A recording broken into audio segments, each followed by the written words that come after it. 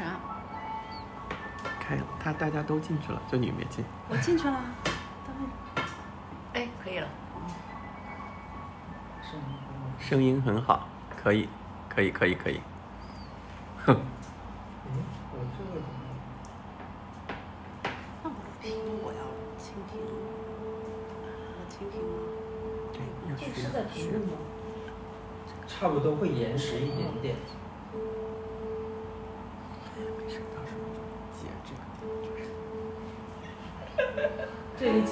谁呀、这位姐姐，这位姐姐是个最优秀的女人。哎，大家请稍等一下啊，现在还正在进进人，大家稍等一下好不好？我现在给大家，我先给你泡茶好吗？我们今天喝的是红茶行吗？行，人家说红，茶也就放进去哎，不行也没办法人家。说好多水果像过中秋，感觉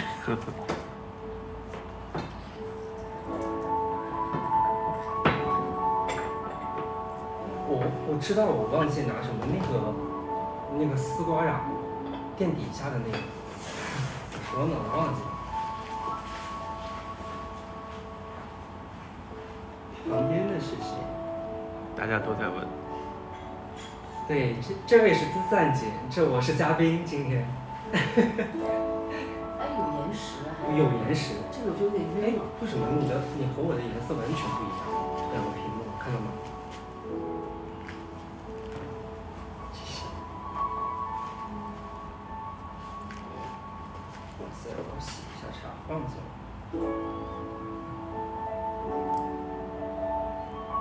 大家请稍等一下，啊因为现在直播间的人还没有到齐，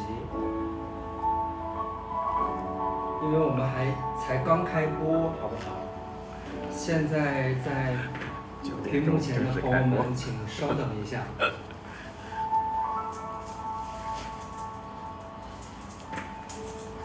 等啥呢？暖一暖，暖一暖。要不你唱首歌，开个场？你等会儿，先别，我给你洗一下。啊，不会了，这个嗯，真的不会了，人家说嘉宾好优雅。必然的。声音低一些，好。好的，满足。怎么有种相亲的感觉？但我这笑死哎，呃这是一个现在的声音好了吗？大家有听清吗？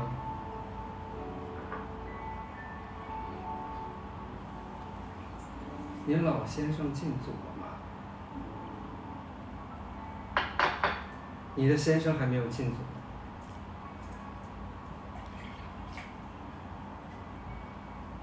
对，你再看吧，看什么？看屏幕。对，不会啊。哎，他们知道老师好，是知道你的身份吗？这是谁？胸无潮，我是我爸。我不知你完全不知道。感觉声音还是有点小，是我们说话的声音吗？听声音。我这 OK。OK 是吗？那边能再调大一点？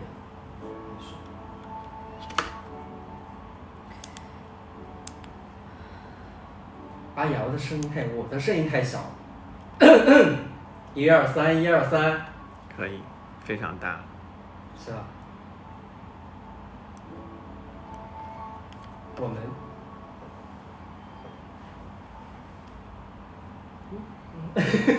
等呢？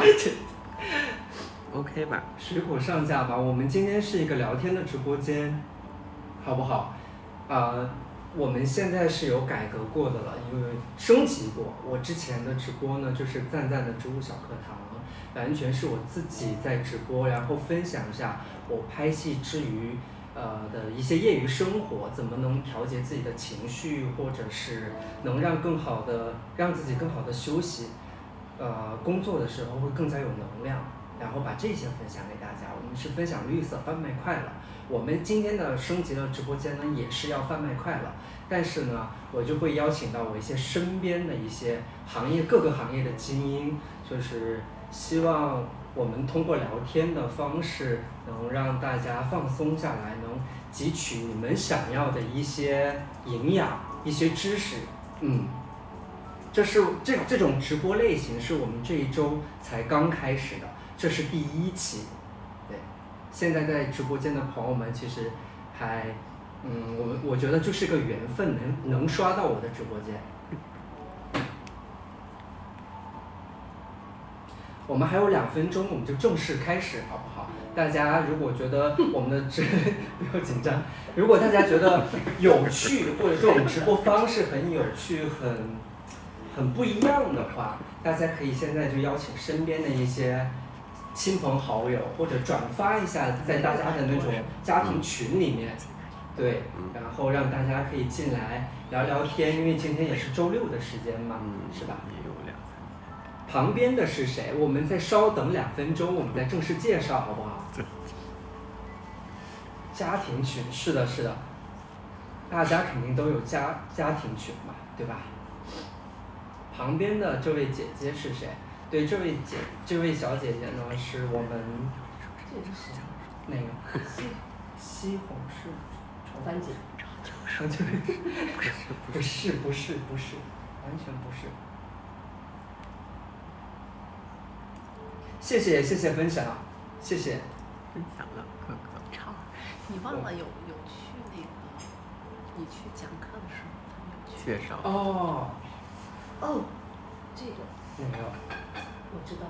啊，这个 看来长，看看来看看来看来您还是就是有就是邀请一些亲朋好友来观看今也没有天的聊天，嗯，分享一下，认识我的也认识你，的确是。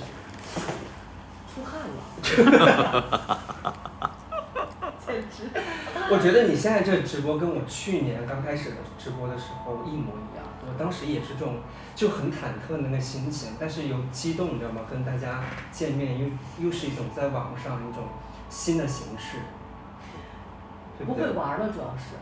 对啊，直播不知道，就是你在这儿一直两分两分钟，等的有点心急。哎，你看不用心急了，现在刚好十分。然后我们现在就可以介绍一下，这位在我身边呢，就是穿着绿波点的这位年轻的老师，他是北京师范大学的教授，是我的恩师，常香妮女士。掌声有请。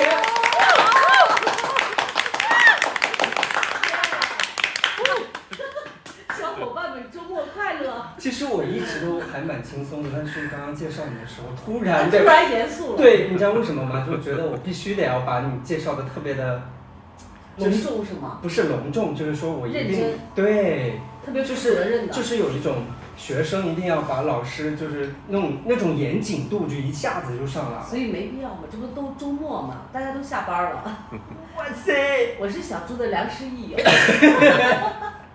来，我们再喝口茶，然后慢慢聊，好不好？慢慢来，慢慢让我慢慢进入状态。对，因为我也是第一次进你的直播间嘛，而且我是嗯第一次参与这种直直播的播跟大家见面，对，所以对，还是有一点点好奇，也有一点点小忐忑小忐忑，确实有一点。内心有点小波澜，是吧？一丢丢小波澜波澜。起伏的厉害 但是你看，老师就是不一样，在在表面上就是大家传递出来的还是特别冷静、特别风趣、特别幽默的一个哎呀妈形象。咋样说相声呢？这大花儿，这 没见过花儿啊，老师没见过花儿。哎呀老师，我家的植物还不够多吗？就是盛开的花。你们家的植物多到，你看今天穿的这都配合你们家植物的，是不是？是的，是的，是的。绿意盎然一点。然后青春向上一是。。哎呀，啊，到时候我给你倒茶。不用紧张。我发现其实你已经不紧张了，紧张的是我。不要紧张，不要紧张。哎呀，我觉得就是因为小朱是我特别优秀的学生，然后毕业到现在，我们俩的关系也特别好，经常在一起聚一聚呀、在一起聊聊人生，聊聊艺术，聊聊植物，有的没的什么的，就很开心。然后我们俩就像良师益友一样，嗯，对，同上，我觉得老师说的对，老师说的话我们必须都得听。所以呢，有这么优秀的学生，必定是有一个很优秀的老师才能教出来。这就互相捧吧。反正今天就是直播间，你捧我，我捧你。没有，因为之前的直播吧，我都是秉承着我们的校训，还是比较谦逊一些。校训你说一下。学为人师，行为示范。太优秀了，北师大校训都能说出来，哎呀，商业互吹，那必须，我们不是商业，我们真的是一个我我们真的又是虽然吹，但是我们彼此之间还是很关爱，也很就是照顾对方，然后互相勉励着，就是一起。前行。自然吹，什么？自然吹。自然吹。哎呀，把水，把老师给老师把水果洗一下，切一下吧。老师现在不能一下子轻易做个吃瓜群众，慢慢来。慢慢来，慢慢来。老师说了，慢慢来。先让老师喝口水，好不好？哎呀，老师已经下班了，你这一句一个老师弄得特别紧张，这个氛围吧，就是先抛开师生这层关系，我跟小朱平时还是很好的这种朋友，有无。话不说的，对。那我们今天就换一个称呼吧，我觉得，那就我们就亲切的称呼尝尝，大家觉得好吗？如果觉得可以的话，在那个屏幕里面扣一个非常棒，老哎太长了是吧？是 老对对对，常常很美，常常很美，好不好？在屏幕里面打一下，常常很美。常常努力，常常很美，常常积极，常常健康。常常积极，常常想念，是的，常常很美，真的有人打常常很美。那必须的呀，那是实话。哎常常姐姐，他们叫真希望你下次请你一个那个师姐过来啊，那个师姐也 很优秀，是的，她必须很优秀啊。也能聊到很多对对对，其他的她是我的人师姐。生的方向。，而且我们就还是呃怎么私底下我们还是很亲近的，因为呢师姐也只比我大一届，然后我们一起参加过很多很多的演出，我们一起出国学习交流，然后通过吧，通过学习，然后慢慢的进入私人的生活领域，然后去分享很多艺术的观点，嗯，我觉得这样的朋友其实是特别值得我们去珍惜，珍惜的，是。是，因为现在这个时代太浮躁了嘛，身边要是有一些可以陪伴你成长、跟你就是很真诚的交流的朋友，确实要珍惜。对，是的，是的，我觉得其实，呃，还是这个时代，就是现在嘛，我们互互联网它还是比较比较快速的。我看大家一直在提问各种各样的问题，然后你想回对你答一两个吗的对你的大学生活非常的好奇。嗯，常常说一下赞赞上学的时候有没有什么调皮的事情？哎呀，赞赞上学的时候，嗯、给我留下了两个非常深刻的印象。呃，除了他的专业啊，还是非常优秀的。在大学他就已经开始非常的对植物也有很深的钻研和研究，也是非常用心的在培育他的植物，还养了一些奇奇怪怪的那些小动物。当然也不忘记他的学业，该跳什么跳什么，跳的时候也很努力，也是都 C 位啊。这一点就是在大学上我就就很诧异，哇，你怎么喜欢植物？他就跟我讲了很多植物方面的嗯这些知识，啊，让我也也学到了很多，然后也开了眼。其次呢，赞赞其实也是一个多愁善感的男孩儿，很细腻，很敏感，很很有爱心，很善良，也很帮助班里的同学，也很关心自己的师哥师姐、师弟师妹。赞赞真的是一个非常乖、非常非常努力、用心、善良的孩子。哎呀，常常可真的是说的天衣无缝，你知道吗？常就是老师。是是来那个捧场托吗？这是 对，今天我们真的是请了一个高价，然后就很荣幸请了一个大托过来，对吧？其实呢，我我觉得是上学的时候，我参加了常老师的一个作品，那个作品的名称叫忽然，你是不是当时脑子一下子忽然忘了。忽然给忘了。忽然对，我之前因为我是教舞蹈编导专业的，所以呢，就是我给赞赞上课都是教舞蹈编创课，就是他除了有基本功，掌握了各各门类的舞蹈的基础之外呢，他主要还是要去学一些编创的东西。所以当时我自己做了一个作品叫《忽然悟空》，然后去上海艺术节，赞赞也跟我一块儿去参与了这个整个作品的编排和演出，以及那个上海展演的这个项目。所以这个里面让我们俩之间的情谊关系对专业的认知就更深了。嗯所以在这个上面，嗯，更进一步地拉近了我和赞赞的距离吧。然后他在这里面也非常能理解我作品的内涵，然后把这个悟空也表现得非常的生动和深刻。对对，然后这个你包为啥？从上，就是我肯定必须聊，肯定，因为你说的的确是实话，而且就是真心话嘛。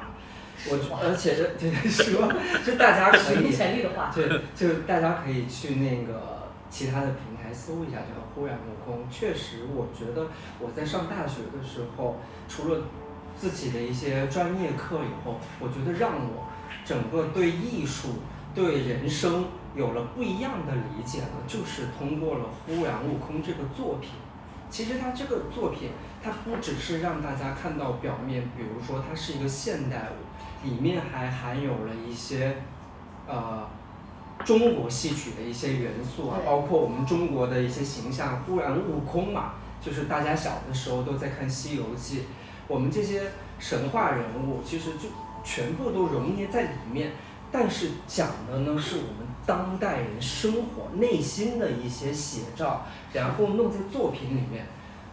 我之前一直都是在跳，比如说古典舞啊，就是民间舞啊，就是还是我们一些中国传统的一些舞蹈，但是没有进行就是深深度的一些刻画，一些作品的刻画。我觉得，我觉得就是演完了以后，整个人的呃思想思维全部都打开了，就那一瞬间全都打开了，而且发现人心底下就心里面最深是最底层的一些深处的啊，对一一些感受。另一种底色，把那个底色暴露出来了以后，嗯我们面对很多事情都会变得很坦然。嗯，对，大家可以去其他平台去搜一下这个作品。虽然那时候我还是跳的比较稚嫩，搜一下，主要是搜一下赞赞，看他跳的怎么样。对于我来说，对我当时还是挺满意的。但我现在看的时候，我那股劲儿就是会发现，那时候上学的时候那个冲劲儿，就是那个就是那时候的你对是不一样的。我现在看的时候，平和很多。对，然后演的时候发现，如果我现在要再去跳这个作品的时候，嗯会有不一样的理解了。啊，所以就是每个时期代表一个人，那个时期最有、最有代表那个时期你的状态。所以那个时候你年轻啊，有冲劲儿啊，那很正常。嗯所以这个作品在那时候你的表达就是这样的。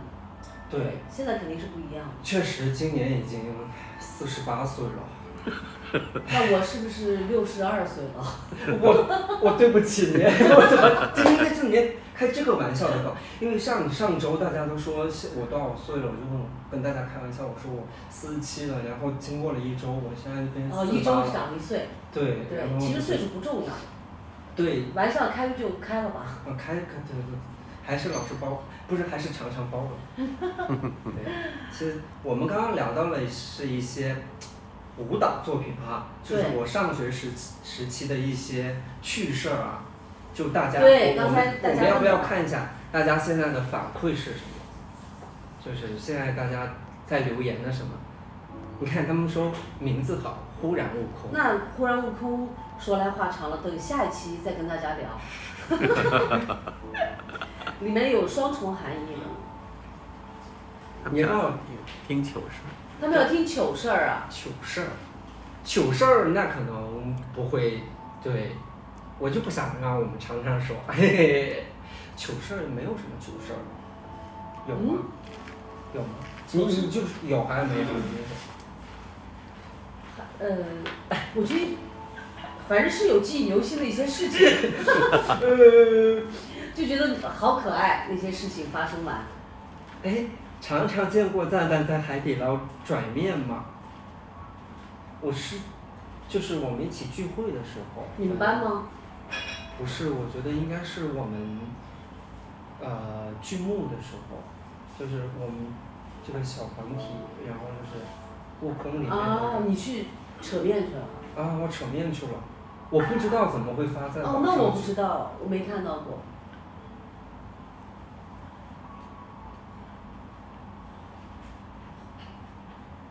你你是零零后还是九零后？我们都是一零后。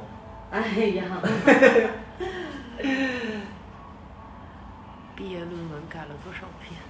毕业论文改了多少遍？这我已经记不清了。其实还蛮多遍的。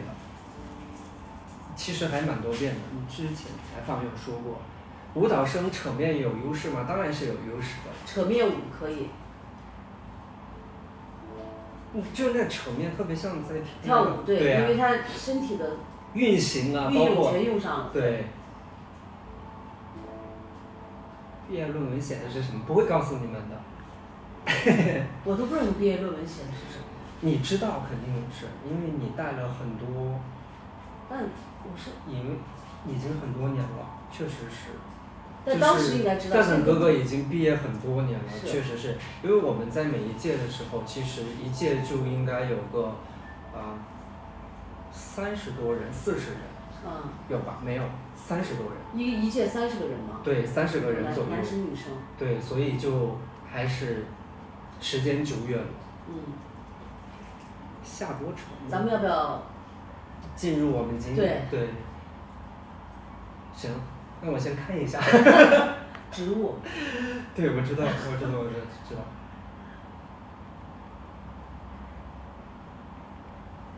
我们先喝口茶吧，茶都凉了已经。茶茶都凉了。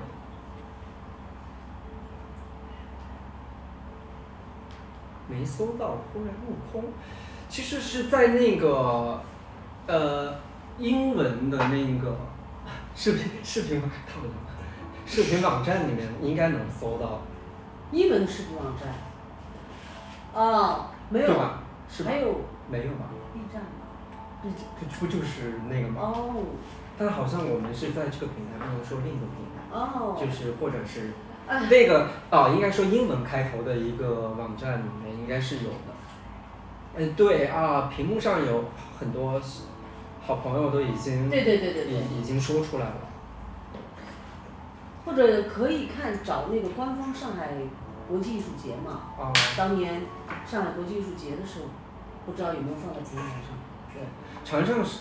我们最近还有编创了很多好的一些舞剧，那个我觉得是算一个是舞蹈，舞蹈什么片，不是应该叫。也是一也算一个作品，一个短作品吧，不算是一个完整的。不是一个长的，像个舞剧一样。对对对，十七分钟那个作品。对，但我们我们常常呃，他有一个独立的自己的一个舞剧的作品，叫《没有大象》。忽然悟空没有大象。对，还有还有那个。没有大象是香港艺术节邀请我去完成的一个一个项目，对。我们喝茶。你觉得今天的茶怎么样？还不错。哎，我怎么居然给你倒？看，看来我今天还是很紧张。到这儿吧。对呀。啊。我今天就还是蛮紧张的。对，是没有大象。对，没有大象。其实看，哎，这样说来也很巧啊。你看，常常就编创过的那个《忽然悟空》，没有大象，都是跟动动物有关系。没有大象不是今年的毕业演出作品，没有大象是我自己创作的一个完整的独立作品，对。对，一个舞剧。是参加的香港艺术节，对。嗯。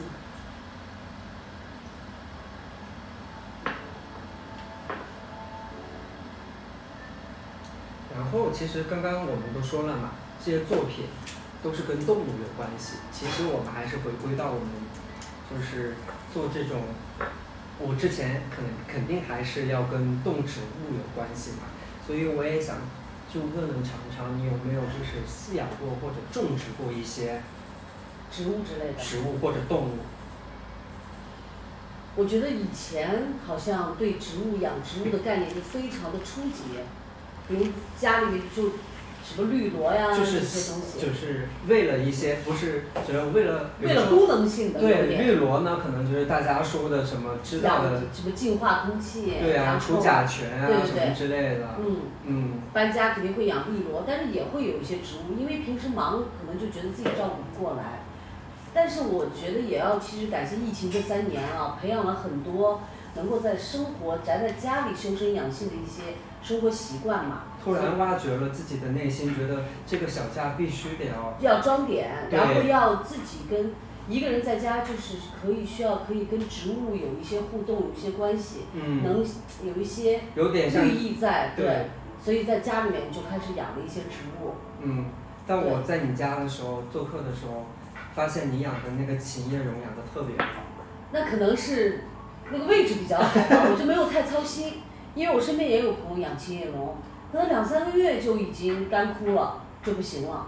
但我这个琴叶榕养了都有三四年了吧，我觉得它就一直在成长，这个让我很欣慰啊。我觉得是气场的问题，因为嗯我养过很多植物嘛，就是如果在屏幕前，呃，关注我很多的朋友都会知道，我呃对植物还是比较得心应手的，嗯是吧？所以我就觉得你把能把琴叶榕，而且刚开始你我我进去你家的时候，我说哇塞，你的琴叶榕养的那么好，因为我一般进入就去朋友家做客的时候，我会先观察他们家的环境，然后看他们家有没有养一就是种植一些植物，然后我发现一进门看，哇，你的琴叶榕养的这么好，你跟我说当时琴叶榕才很小，嗯，比现在矮一半儿吧。对呀、对你现在都已经全部都要快封顶到了对封顶了，都已经。其实而且叶片都很大，而且是长了分支了已经。是的，那你就是养了这个琴叶榕了以后，它除了好看啊，嗯能给你带来一些什么改变吗？嗯，这个刚好也是我觉得，在到这个岁数了，然后到了一定的年纪，会发现跟植物之间的这种关系是有一种微妙的互动的，而且我觉得是有温度的。就是你用心去关照他们的时候，他会以最美美的很好的样子呈现给你。对，这也是我这个是我觉得你一定要去用心感受，它是有的。然后当它一直在成长，然后一直在给你展现新的叶子的时它候，是也在回馈你。我会很欣慰。我觉得这里面有一种感动，嗯，这个就是让我很感动。生命力的感动。对，嗯，是是觉得。原来其实以前不懂得去好好的对待植物啊珍。惜或者什么，觉得其实我们身边的植物啊，出去大自然都会有很多植物，对，就不会觉得它是，哎，可能他们就是靠天吃饭也能长得很好，拿到反反而有些人拿到家里面，反而精心的照顾也没有照顾得很好。我觉得，所以那个植物跟你还是有气场的，是而且我觉得是一种互相重念的一种传递。是，你养了它，然后就像你说的，你很细心的照顾它，知道它的习性是什么，包括你说位置好，那也是你经过一些摸索，你家很大，各个方位朝南朝北都有。为什么有些地方适合某种植物呢？我觉得你其实就是对自己能够嗯找到一些规律和一些它养养把它养好的一些方式，对，慢慢就能摸索出来。所以你看，它还是回馈了你一个最好的状态，一个正向的一个回念。我们看一下屏幕。就是咱们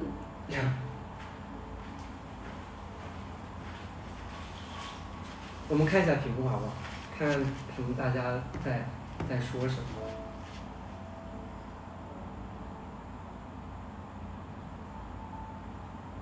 话题进入，这是什么？这个是一个大贝壳，这个是他们就是发发过来的一种鼓励，就是说啊，就是表示一种我真的觉得我很 out 啊在这里面。不是啊，不是，只是我们觉得，呃，一些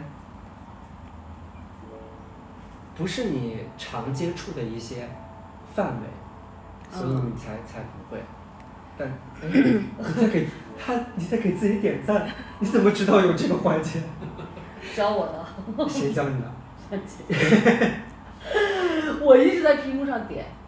可以可以可以，反正就是我觉得你这儿的植物养的真的，我真是为你骄傲的感觉，有一种瞠目结舌。那包括除了除了家里面的，就刚刚像你说的一些琴叶榕，还有一些绿萝之外，还有一些什么，比如说呃，我想想啊。有小动物吗？我以前养猫啊，我养猫养太多年了，然后帮过猫接过生，嗯，然后把它们养老送终。是什么品种？呃，英短，还有一个英短折耳，是妈妈生的。它是有一些，比如说它专门，它区别于其他猫的一些特征。嗯，我觉得它区别于那种，我也收收过那种外面的小流浪猫，我觉得就是这种有有有名种的这种猫，还是挺乖的。嗯。但是呢，我觉得它的身体不如流浪猫好养。对，有点流浪猫就很皮实，就是就是它不就性格比较的那种疯狂，但是嗯是身体特别好，对。那你养过这些，能有给你带来过什么？比如说，你认为你还记忆犹新的一些瞬间，或者一些当然啦，我的猫，我喜怒哀乐它都懂啊。我哭还给我擦眼泪呢。而且当然，因为尤其是猫妈妈，当它有了自己孩子以后，它更知道主人的心。我反正我的猫叫泡泡，它以前我回家它等着我，我走它送我。我以前有一次特别伤心的大哭过一次，它直接卧到我胸口帮我擦眼泪。而且他有了孩子后，他教育这个孩子，我看着他怎么教育。他尽管在生活习惯上一直在教育这个小猫啊，但只要吃东西，永远让开一步给他孩子先吃。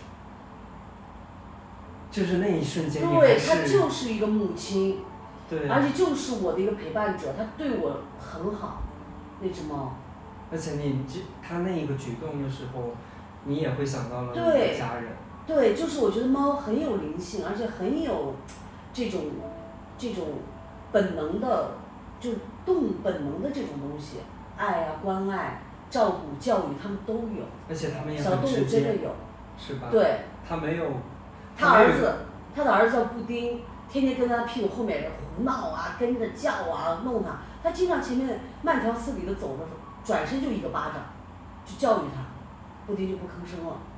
但是因为什么事情教育呢？就是闹啊，布丁就在他后面老啄咕他嘛，啊就是老逗他，就跟着妈妈，就就是很烦。生小孩的时候，对妈妈就一闹巴掌妈妈，就扯妈妈的头发呀，各种啊，就是求关爱啊，对各种，是不是？而且我觉得其实还是蛮奇特的。常常你刚才说的那个画面的话，我突然就能有一种感觉，就是他的世界很单纯，他的世界可能就在一个小一个家里面，他没有外面像我们现在接触过那么多的人事物，你出去可能他的小空间就这么多，对，然后更多接触外面的一些人事物，可能就是你家里面新添了一个家具啊，然后嗯，他要适应一下，然后你家里面来了一个朋友，他要去感受一下，他要欢迎一下你这位朋友，就他可能他的世界也是这么大，发现，但是他那个世界他本能的东西，也是一个微缩观，就看到了我们人人类自己，其实我觉得他还是给你呈现的更多的是动物本能的东西，嗯，然后你人更直接的东西，他没有那么多思考，我觉得他全靠本能，然后生存是这样。嗯，然后有幸的在一个家庭里面成长，他可能安全系数更高，嗯。所以他们都是属于到最后生老病死这样。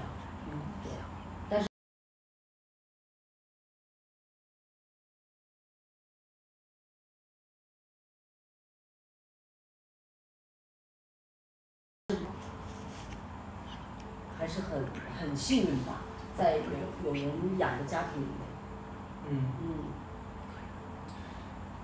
而且就是怎么了？不，哎，没没有啊，没怎么了，就可能那个网络会稍微，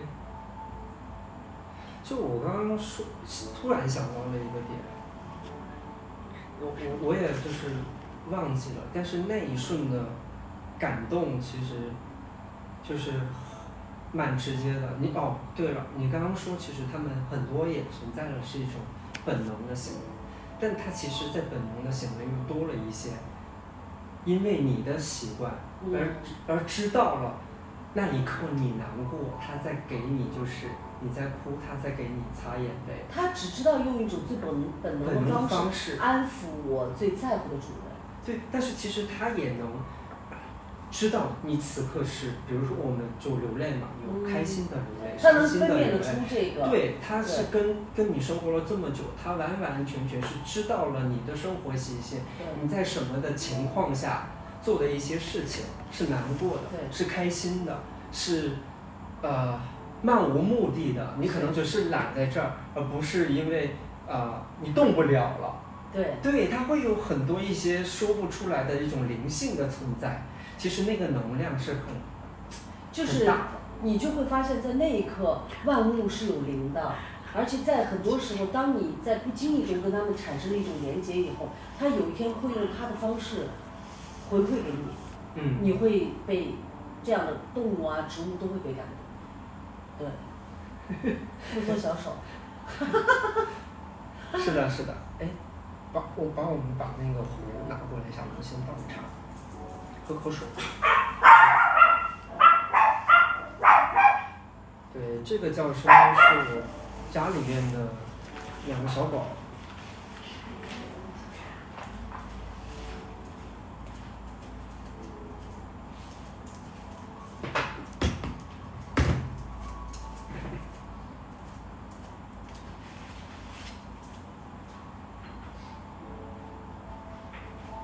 反正我觉得，尤其像现在这个社会，我觉得都这么浮躁啊。我觉得动物啊、植物啊，还是很治愈人心的，嗯，因为他们最真实、最质朴，传达给你的那种状态，啊没有那么多的各种的杂念，像人会那么复杂或什么。我觉得他们的传达是最直接的。对，因为现在就是大家对于生活节奏太快了。对，需要工作，需要顾及很多亲朋好友嗯身边的一些事情，就是，呃，怎么说呢？回归自己，可能就会变得没有那么的容易。但是生活就就是这样，其实很简单。是。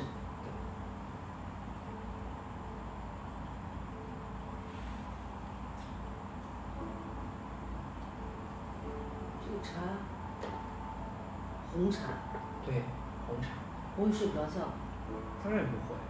我们今天聊得这么开心，肯定是更睡不着了。可以聊个三天三夜，是吗？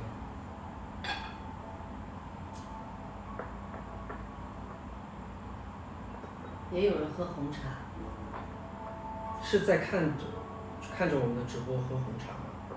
是，一起喝。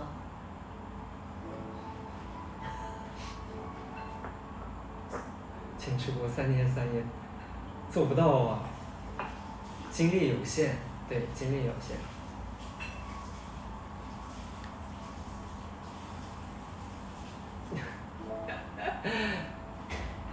那如果你像我们刚刚已经分享了这么多，那就是到了一个觉得聊天已经聊得很开心了，嗯，到送你确定吗？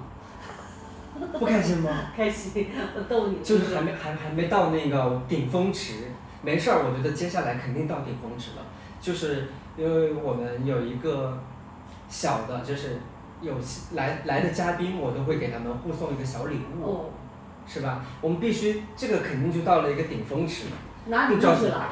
那肯定的呀，还得起身走，当然还有礼物呢，大彩电 不。想要啊，就觉得觉 好的好的。今天在家，今天在的是客厅的一个小角落。斑点长，要听赞赞大学的故事，大学的故事我们可以后面后面再跟大家讲。我们其实还有很多很多的话题需要聊的。我们现现在我要去拿礼物了，好不好？不然显得显得我好像不愿意就把礼物拿出来一样。要走这么远，哇！这盆植物啊？对啊，这个植物啊，啊。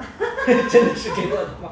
因为因为常常已经，呃，做三番两次做客，然后特别想把我这个植物给拿走特，别想把这一盆花拿走。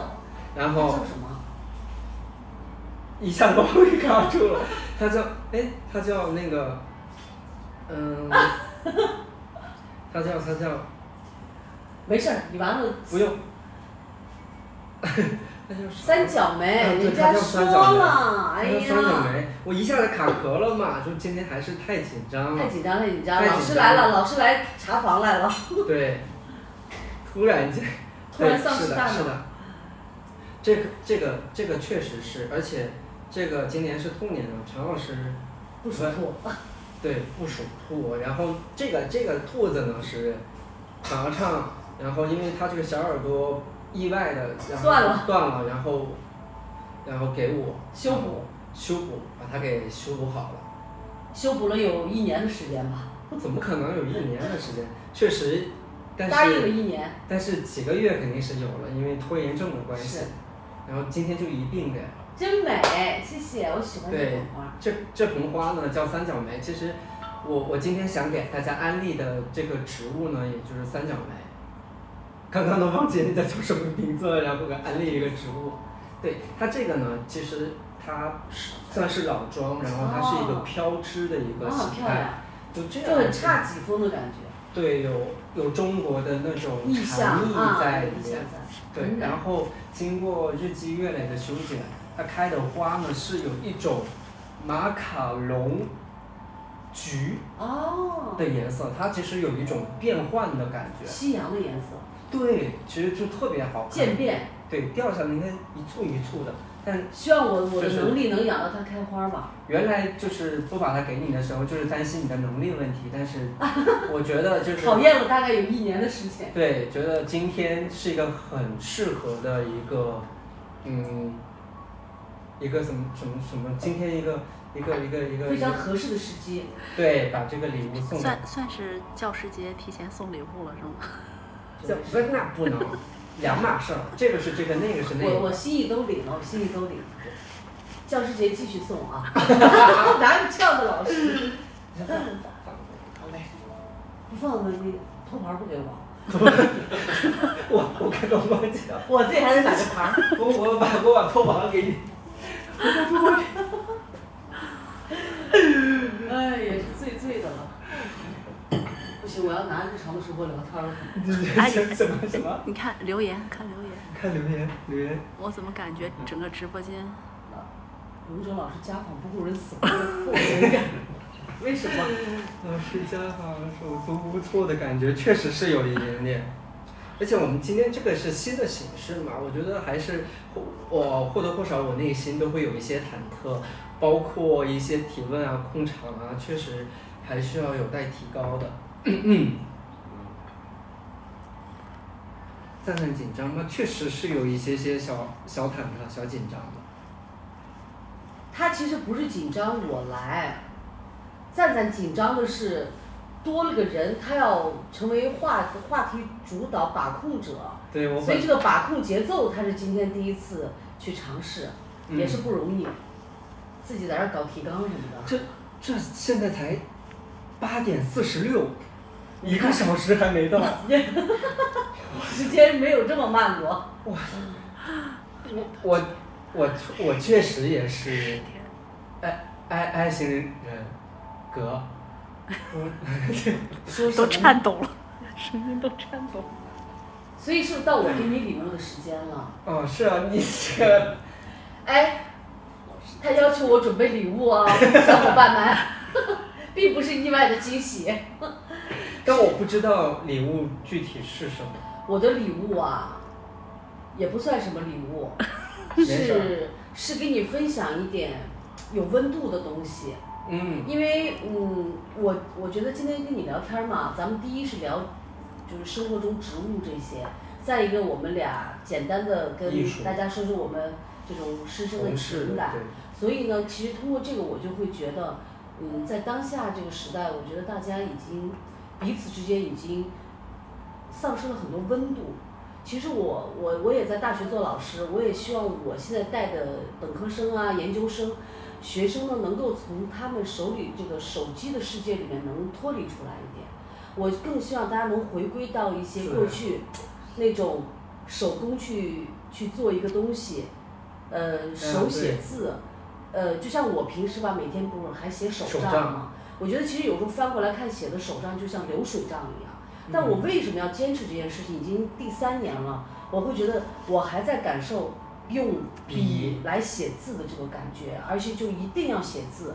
所以呢，这那天跟你简单聊到人回归这个温度，我还是希望人应该和人之间找到一种温度的存在，一种链而不是接，对，不是拿着一个手机，你的世界们就手机这过么大通过屏幕，然后去跟大家去家沟通。对，所以我就想到我小时候，我我我的中专在上海，然后大学到北京，就是一直是跟我的亲朋好友、我的家人是通信的，我们一直靠写信来来回忆过去。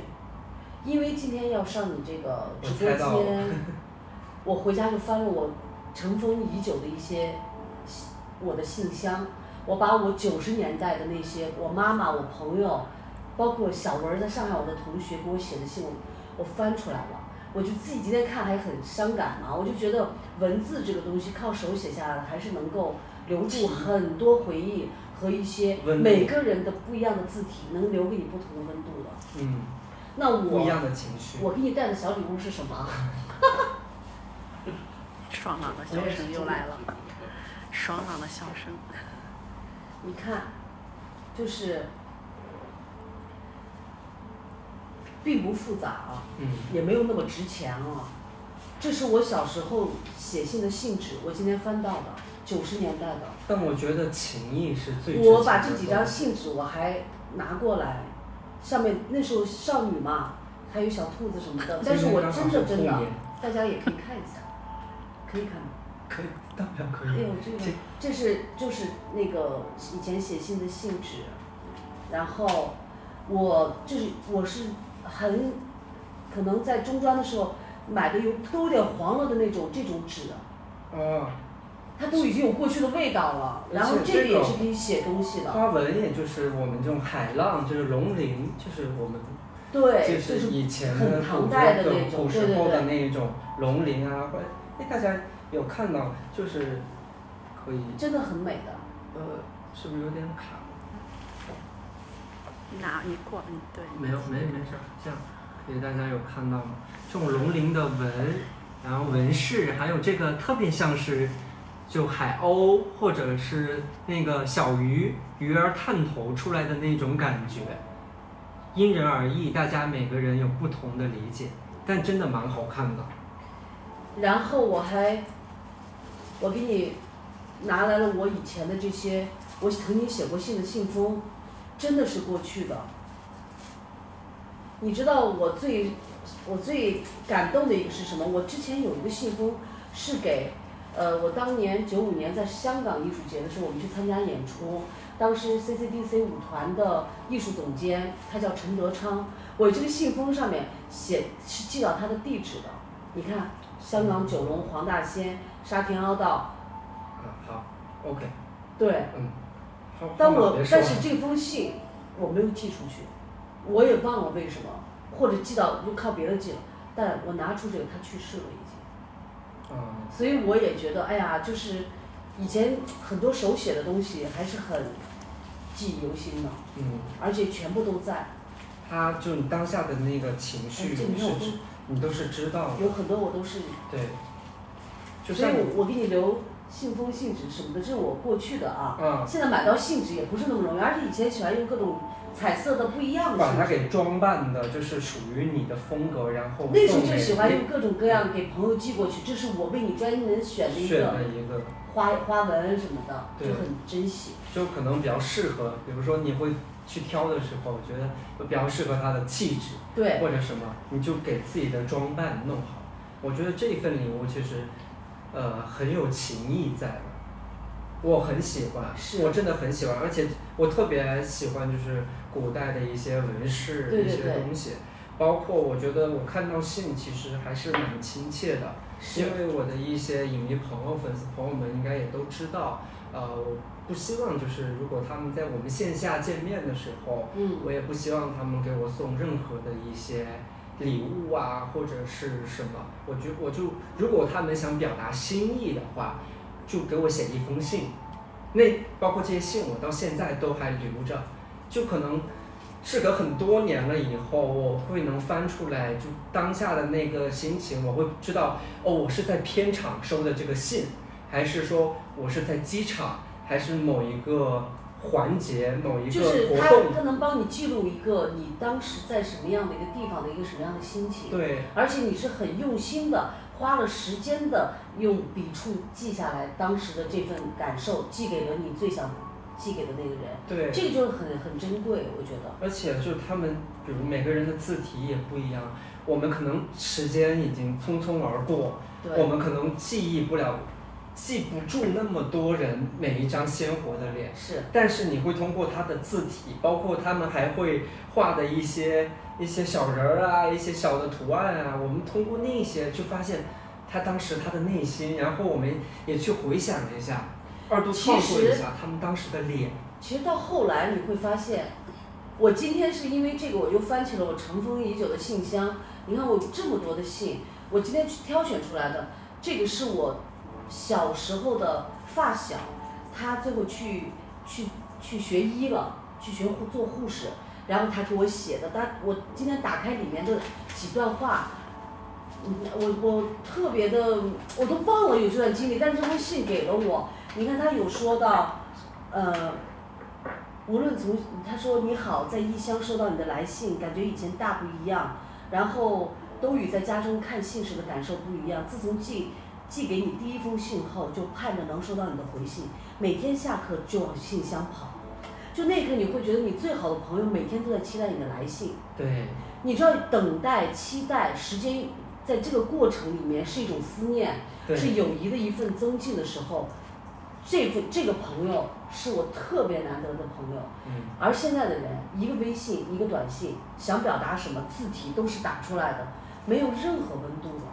对，我今天翻到他给我发的这个，我很很很感动。很有感触。对，你看他说，虽然人在济南，可对济南还很陌生，只知道我们学校门口有九路车到火车站的，就是他每一句话我都觉得他在跟你讲述他的生活，你在分享，就是可能那时候交通不便啊，或者是各种问题，但是你会看到那一些人，我急切的，因为我们的关系，我想分享给你当下的那种急迫感，但是我们又要通过信，因为是来回我要寄出去，我们还需要邮政，还需要等待的那一刻的心情，就如同我们的现当代人，就比如说我们在平台上下单了一个我们心仪的东西，快递，大家都很喜欢拆快递的那个感觉，拆盲盒的那个感觉，那就是我们现在就那就是我们当时的希望得到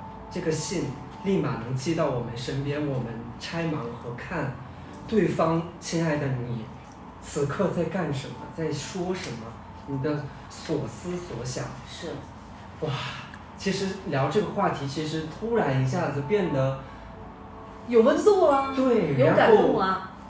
就是现在的人已经离这样的时代越来越远，所以你看到最后他写挚友谁谁谁，然后还会很淘气的说，我来是胖了几圈儿，不夸张，但每天还是想吃，吃的很多，你说怎么办？然后还画了一个小小小哇，你就会，回到那个年代，九七年，我大学一年级，他应该也去读读书了，而且我就记到，就就能记起我的好朋友的字体，他写字我现在发现哇，还蛮漂亮的，对，字也写得好这，钢笔字，你看那些墨水都已经有点泛泛淡浅了，对泛，浅了，那时候都会用一些花花的信纸哦，对，你知道吗？真的没了，当然不是，而且现在主要是油桶都没有了，连每一个路边的那个绿色的油桶都不多了。我觉得你可能没有经历过太多写信的年代。是，但是我现在也尽量，包括我呃 iPad 啊各种啊，我都会买一支笔来去写，就是练习自己的笔触，然后，唉，就是回归那个没那么快节奏，然后遵从自己内心，然后发现，哎，我突然觉得以前大家都夸我字还可以的，发现现在写字越来越生，然后因为你不没有了练它了。对，没有了当年的那种感觉。所以我觉得你去看以前的文人之间啊，或者夫妻之间，他们会靠书信来往。就就刚才有人说见字如面，就是这种东西，那份情谊如果能够在当下这个时代再把它重新捡回来，我觉得每一个人都会去珍惜那个你等待的、你思念的，然后你你愿意把你的话，你想跟他表达的东西，通过文字一点一点，在一个夜光下，一点一点的把你的情感表达出来的这样的一个嗯状态里面，嗯。我觉得这份情谊是真挚的，嗯因为我觉得现在的人办事效率、做事效率太高了，所以已经忽略了所有这种最人和人之间本真的东西。情绪的东西会消磨一些。对，对我们有时候就是不能这是这是我上海的同学他们给我的，这是爸爸妈妈给我写的信，哎呀，也是也是非常，你看那个信纸，哎，这当时我家是在部队嘛，说女儿转眼到大学一个多月了，还适应吧？什么现在是北京最好的气候，不冷不热，所以旅游的人也比较多，刚好是八九月份、十月份。嗯，什么，就刚好现在这个季节现在。现在基本上不会有人，你等一封信等到了，慢慢的读，慢慢的品，然后看那时候你的爸妈跟你都说了些什么，然后去注意什么，然后你再用心的把每一个东西回给他们，嗯回给你身边的朋友。你看，就是他们会花时间写四五页纸的信，满满的四五页，真的是满满的爱。其实很沉甸的，别看这个纸很轻，它承承载了很多，就是分量。哎呀，你看我妈说，你说半边脸痛好了吗？我问三姨，她说你你没说，我想可能好些了吧。十一月份北京就要冷了，风也很大，注意保暖，祝女儿快乐顺利。是不是？对，现在你看，发一条微信，有这种感受吗？而且可能我觉得当时我们去看信的状态，跟现在去看信的状态肯定是两码事儿。而且当时你肯定对吧？嗯，就那个状态可能就是没有这么复杂。这个现在可能再去看这个信的时候，又多了一层感恩、想念。这是人和人之间的一个最难得的一种表达方式，但是我们现在没有了，所以会有的，会有的。所以就是，嗯，身边的朋友你要去珍惜，就要去有这样浓厚的这种连接，嗯，我觉得他才会越来越深这份情谊。对。而且这个这个真挚，这个真挚感是真真实实存在的，而不是比如说有一天我们手机发现满了，或者是手机丢了，我们换手机了，这种东西就会有可能就是没办法保存下来，而且数码呀、高科技的东西，它还是不像你，你所行的每一步是走的心的。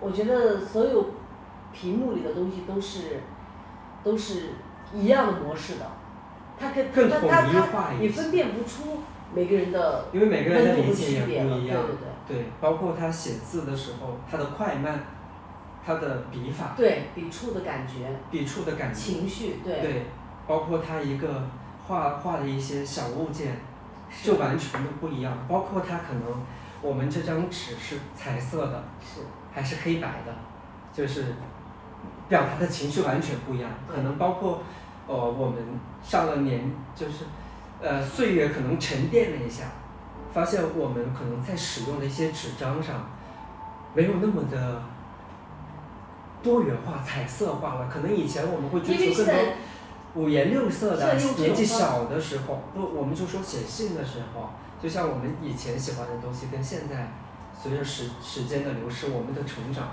我们变得沉稳了。对，可能呃，不会有那么多辅助的东西，但笔触什么都还是依旧真挚。但你看旁边的点缀，完全没有那么多了，但依旧很沉。这个都很深沉重要。对我想表达的还是啊，写写，就是跟人的交流还是需要呃用心去自己完成一件事情的，不是用一些科技的手段。我觉得还是要回归到这种有温度的这种交流方式上。嗯，对，所以就就还挺怀念怀念这种人和人的这种感受吧。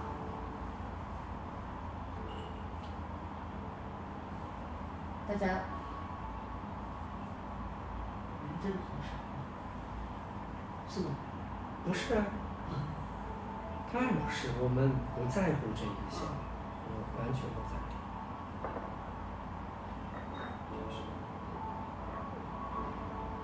所以给你拿了点儿老信封儿过去的小信纸，我觉得挺有意义，是让你感受，甚至我觉得它有那种，就是藏起来的那个味道，对，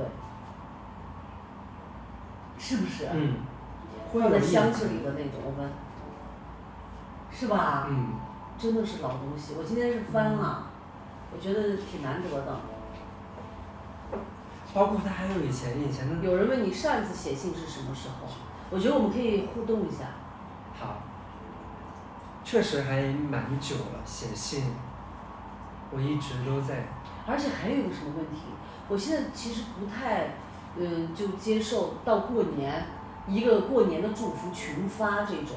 我觉得这种方式，嗯，就是我很抱歉的说，就是这种群发的这种过年祝福，我基本上是不回的。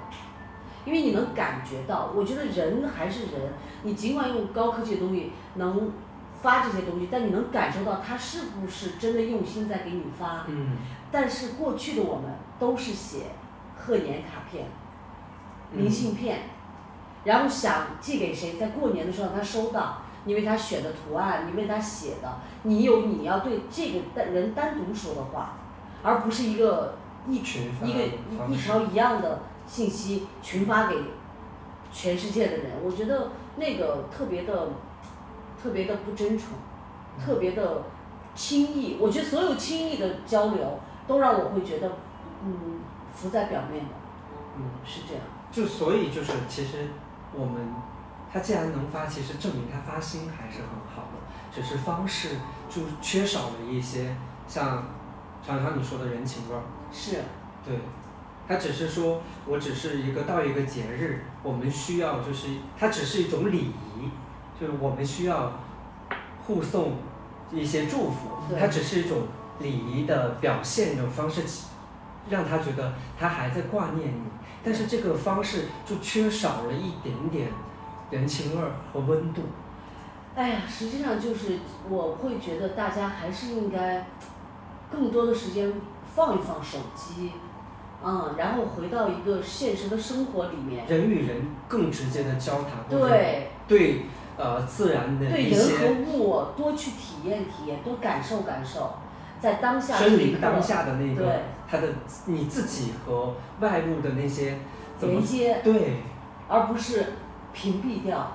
你活的世界就这一掌之大，里面是能看到更多的东西，但是你感受不到它，摸不到它，碰不到它，也没有交流，所以我觉得还是应该多让大家慢慢的去放下手机，走到现实生活中来。回归更直接的方式，是更有温度的一些方式。有个朋友在问我们这个直直播间在做什么？我们这个直播间在聊天。对教师节我会给老师一个一个发信息，那你是很好的学生啊，然后你很用心啊，老师也是感觉得到的。其实，嗯，你这个是群发还是单独为一个老师发，老师其实是感觉得到的。而且当时我们还记得，就是还过教师节的时候，以前还存钱，存钱给老师买买花，买康乃馨，然后也还会在想说，那大家都是买红色的康乃馨和粉色的康乃馨，我们怎么能在这个呃不同的花束里面表现自己？啊就是就是我不想跟呃大众的呃大众的学生一样，嗯。就只是康乃馨，我们会会弄一些，比如说我们会从那些彩纸啊，包括一些各种方式。我们是这种包起来的，还是我们放在一个容器里面，然后给老师去 DIY 设计它，对设计它，对。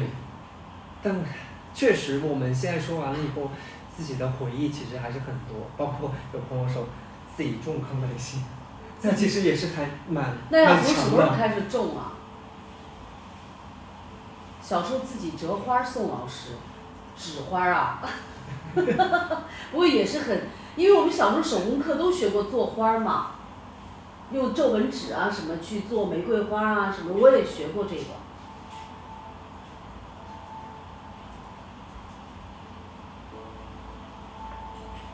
常常喝口茶。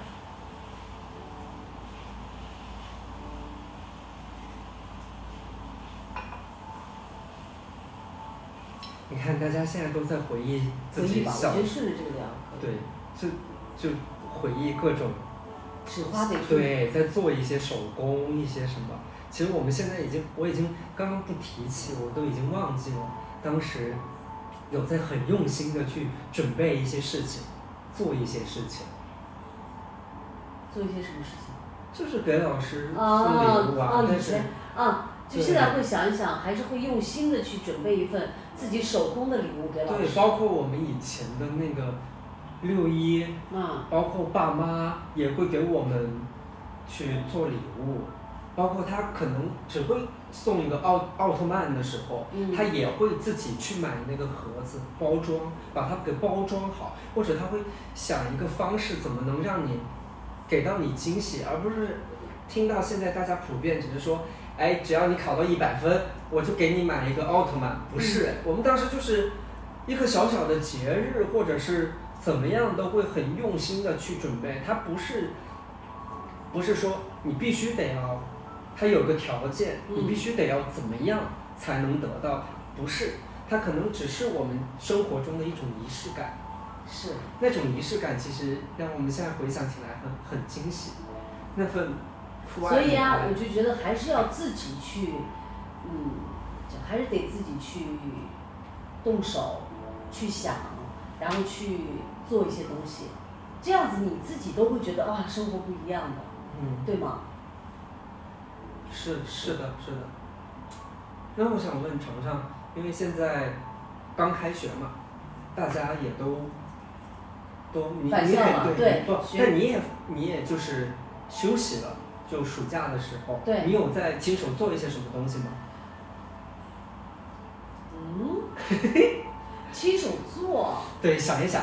我手工课真的不是很好，但是我是喜欢拍照的嘛，嗯，所以我会觉得坚持拍照，对对对这也是动手啊，也是通过眼睛，然后你动手能拿相机来去记录东西。我觉得倒是因为我觉得拍照也是另一种捕捉生活美好的一个方式，因为你可以去发现一些别人发现不了的一些，嗯，一些画面，一些构图，一些人人一些物，然后你就会把它记录下来。每当你发现你拍到一张很不一样的照片，或者很很是自己喜欢的那种风格的照片的时候，也很欣慰啊。嗯，对，我觉得摄影其实也能带来，嗯，更多的一种快乐，而且也会它是属于你自己的，让自己的生活也也能充实起来。因为它肯定是属于你自己的，通过你的视角，你的你的构，其实你的构图就是你以什么，你你去拍一个物的时候，它身边有很多你以你以什么为主要焦点，你的视角是什么？你想通过这个照片传达的是什么？你当下的心情是什么？就各种，我觉得其实有时候都不会想这么多，只是想拿着相机去拍了。拍完以后，你突然对某个东西有感觉、有敏感度了，你拍下来，你可能就成为你当下那一刻想要捕捉的东西。对，就是喜欢拍嘛。所以我我在疫情的时候，不是一直想做一个，嗯，想拍一百张黑白照，但是就是这样，到现在没有拍到一百张，现在多少张？五六十张吧。那还是可以继续拍。嗯，但是你知道为什么拍不到？我会发现，嗯，独特有意思的东西，其实不多的，不多了。这也是一个对生活的一个一个遗憾。现在觉得，好像生活可以捕捉到的，就因为疫情，人也不能去太远的地方，你只能在你的生活的范范围之内，你去寻找一些不一样的东西，你自己的眼睛去发现一些东西。其实每天都是重复重复的时候，很难的。其实真给自己一个设了个限制以后，它还是有难度的。但是这而而且有的东西你会想，发现拍成彩色的，可能比黑白的更有张力，你可能就放弃把它拍黑黑白了。所以想拍成黑白照片的时候，是需要还是需要去去发现更合适的。但你看，就是它有一个限制了以后，你就会有更大的动力，你去做做这件事情。是，因为你想，我们现在说你不可能就放弃了，因为我坚持一件事情其实蛮不容易的。嗯，就像就像你说的，它有很多限制。但你现在拍六七十张，还剩三十张，你愿意放弃吗？不，就是我又没给自己设限，我也没有给自己挖坑，说一年把它拍完，对。就拍下去呗。有有合适就就算黑白系列里的，对。但我觉得我我我有记得有很多张黑白里面很有很有分量感的照片。嗯，对，它还是有让我自己也满意的，嗯。但不代表这么几十张都是满意的啊。对。还是有的只是记录一下当下发生的事情，有的可能是哎一个光影啊什么的，就不一样。有的更纪实一点，有的更偏艺术。包括其实我我有我我有记得，嗯，你拍的有一张照片，是有人在，我忘了那项运动叫什么了，就是。皮划艇。好像是皮划艇。嗯。对，就是发现，他在这么艰难的环境，还在做这样一件事情，他跟你的坚持，就你坚持拍照拍黑白，他坚持在练习他的运动，嗯。就是两两个坚持就碰撞在了一起，嗯。就是那种感感觉很奇妙。是。嗯，我我所以，我看到了那一张照片呢，重量感、分量感，就是你你。那个照片记录了他的坚持。对，所以我觉得有很多黑白摄影大师的作品是真的很有张力的，嗯，你能看到照片里面的那种独特性，像你说的那种分量感都是有的，而且会那那种瞬间真的是不好被抓到。对。嗯，我还是蛮喜欢看这些黑白摄影大师的作品。除了拍照，还有吗？嗯。想让你再回想一下，还有没有？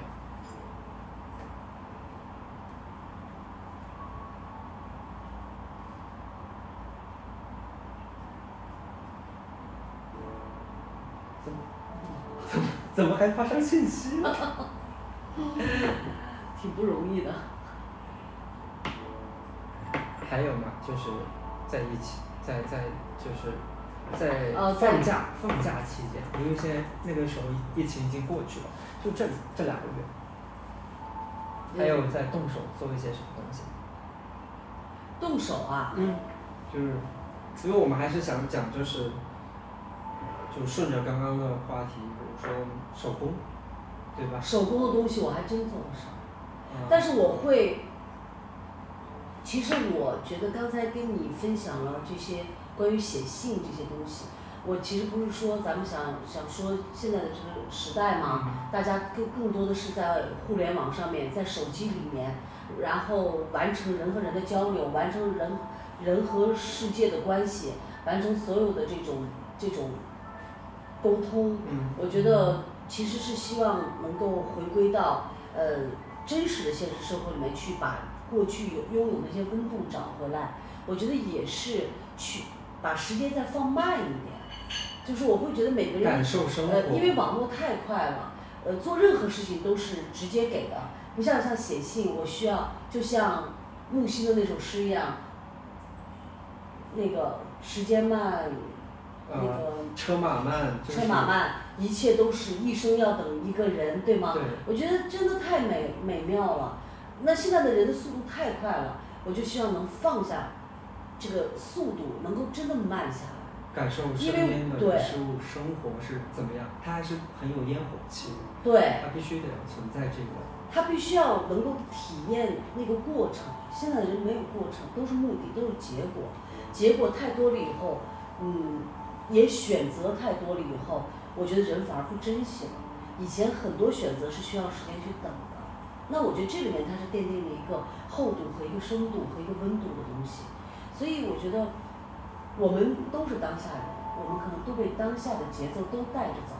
对，所以我会尽量的意识到这个事情以后呢，可能会在暑假这个时间，我可能不会说真的做手工活儿，但我会给自己安排一些必须慢下来的事情。事情，呃，写手账这件事情，我觉得它就是它很，其实它很难。它每天你只要把你每天事儿记一下，但每天我有时候会觉得，我为什么给自己挖了一个这么无底洞的深坑？因为有时候每天都还是有些重复的。不是，是哪怕写手账，哪怕只花五分钟、十分钟，有时候都觉得好麻烦，但我一定要坚持，甚至我有时候都不知道坚持它的理由是什么，但我觉得一定有一天他会给我一个答案。那那是他为什么会让你觉得好麻烦吗？就是这个这个思想是怎么过来的呢？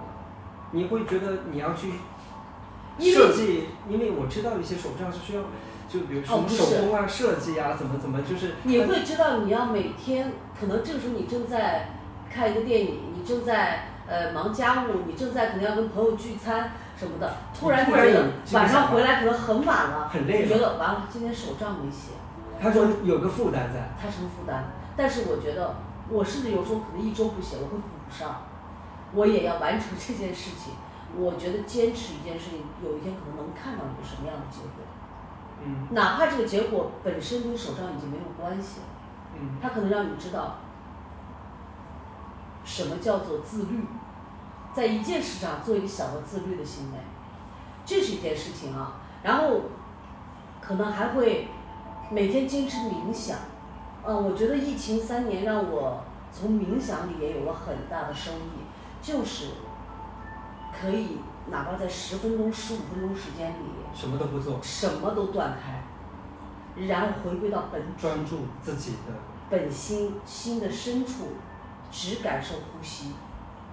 杂念来让它来，你不要去接应它。嗯。哇，这是一个锻炼嘛，这是一个嗯。磨练，所以我觉得冥想的帮助也特别大。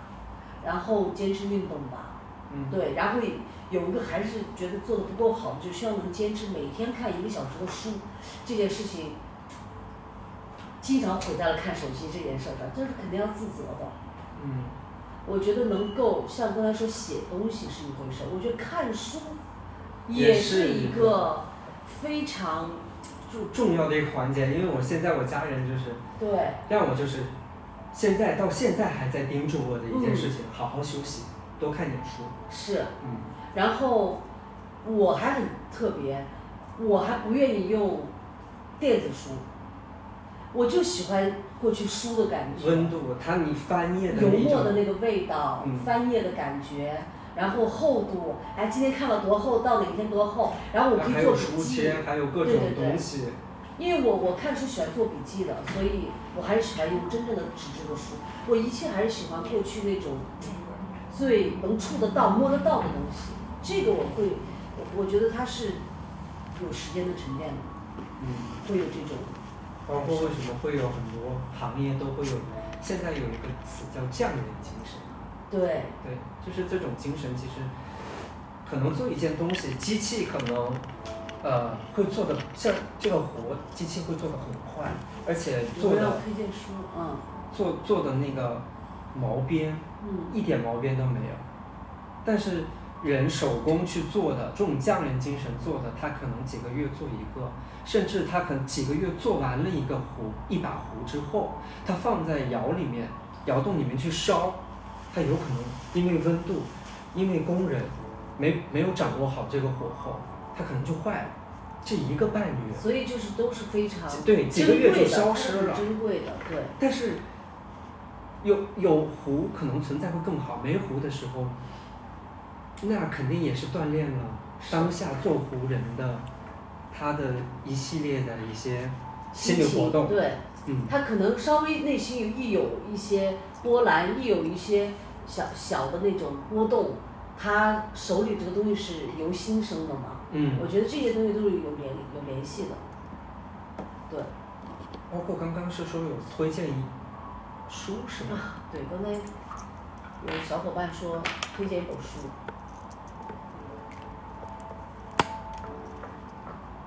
有想推荐的吗？暂时没有。我有哦，有我最近之前刚看完了一本儿，是感触特别深的一本书，就是茨威格的一本书，叫《昨日的世界》，它有点厚，但是我看完我觉得还是，嗯，那它其实讲的是在嗯二战时期奥地利的当时艺术整个艺术的兴衰，然后茨威格不是作家吗？就茨威格颠沛流离，然后整个他的那个对把战欧洲他是看到了欧洲当时整个艺术兴亡的一个过程，刚好赶上二战时期。嗯但这本书我觉得写的很细腻，真的真的是一本不可多得的好书。我觉得茨威格《昨日的世界》，我是真的推荐给大家，我觉得非常好啊、大家收到了吗？来自长长的亲情分享。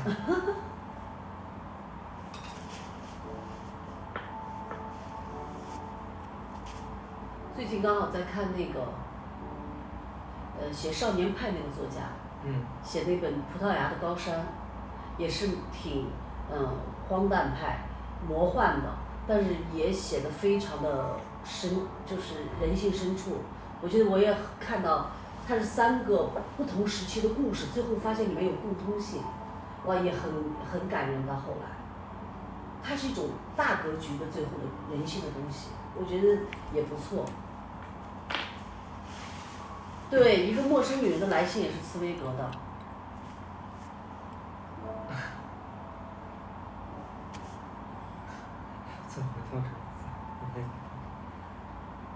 真的是，咱们天马行空的聊，对啥都聊了，紫砂壶也聊了，没有，我们就点了一下。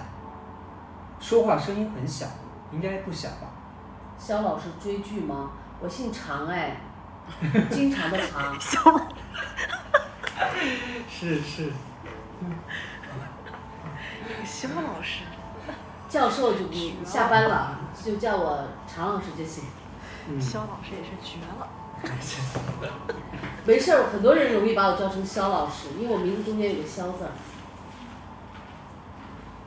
呃，话筒杂音太大了是吧？有吗？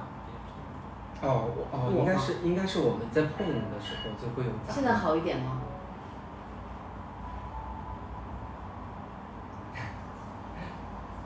老师您好，我是乖学生，怎么证明呢？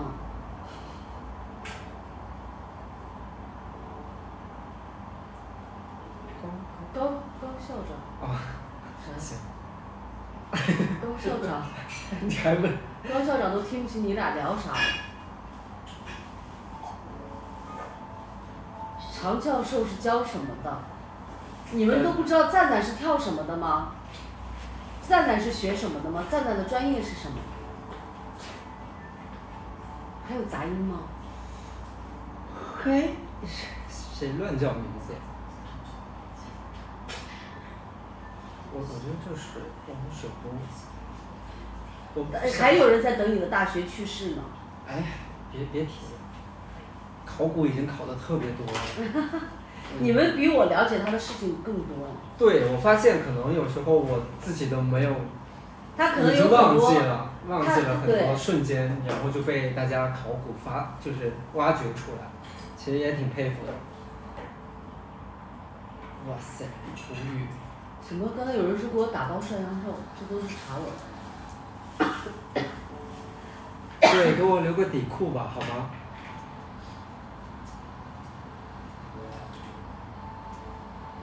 你看这个，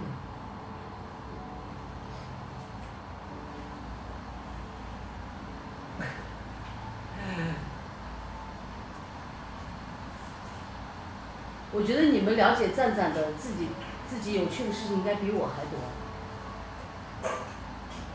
我觉得他们也比我认识的自己更多。你再煮个茶喝。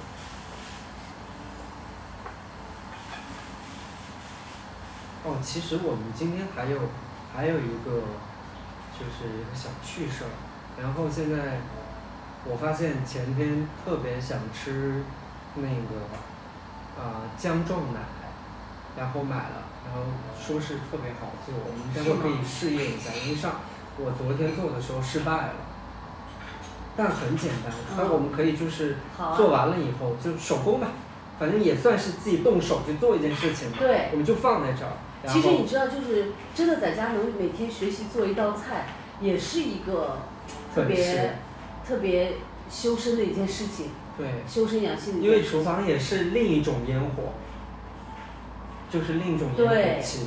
就是生活里面有很多东西，我们都可以尝试着去一点点感受它，去学习，对，包括你体验这个过程。包括你喝咖啡的时候，你也很喜欢手冲咖啡，然后买了豆子，对，然后自己去磨，磨完了手冲，其实它也是一个。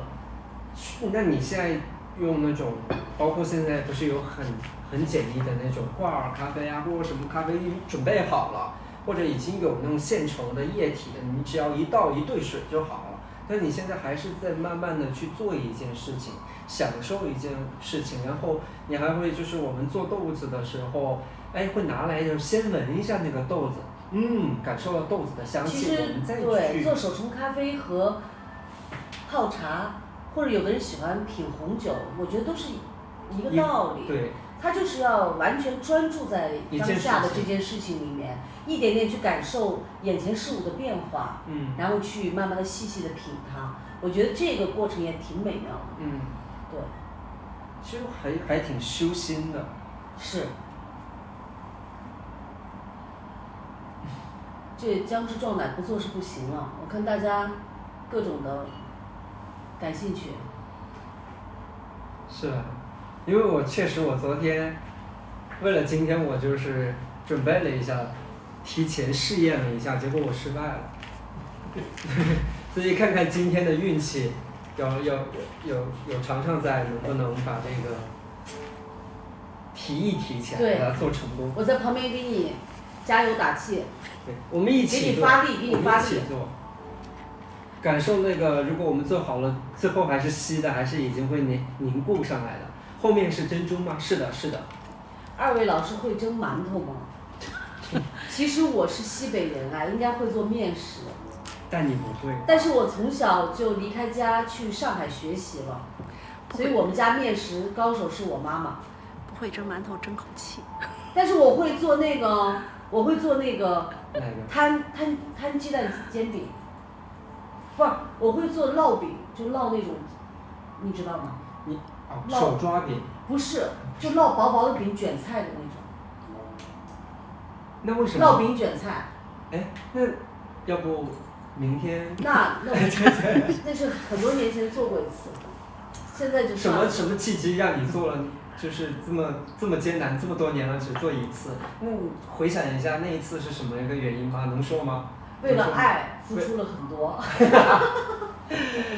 就还还是因为爱改变了一个人。春饼吧，哎，应该是那种，就是摊摊摊煎饼的那种，摊鸡蛋饼，然啊后薄薄的，然后炒两个菜，土豆丝啊、醋溜土豆丝什么的，卷在这个饼里，肯定没有那种烤鸭店的那种饼做的好，但是自己家做的也很也很也很有家的味道，对，也有一种成就感。因为我我爸妈小时候就做这种嘛，嗯，我记得我边打电话跟我妈讨教，边尝试做这个，要把那个面弄得特别的到一个什么程度再去做。嗯，哎呀，现在就觉得我们之后还有口福吗？就是在在 在，真你瞎。对，你在拾起你行，好的，我努力一下，再把那个攻略拿过来一下，整个现在还需要吗？不是已经做过一次那？很多年前了，忘了。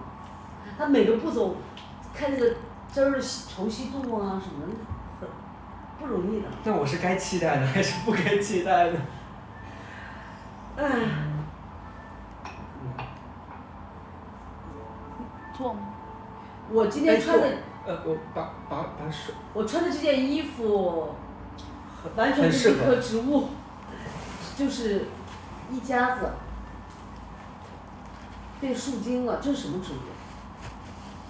这是什么？我今天问这个是那个龟背竹，然后它是不是走走，它是那不是那种直立的，它是横向长的，哦，所以我是它叫洒金龟背竹。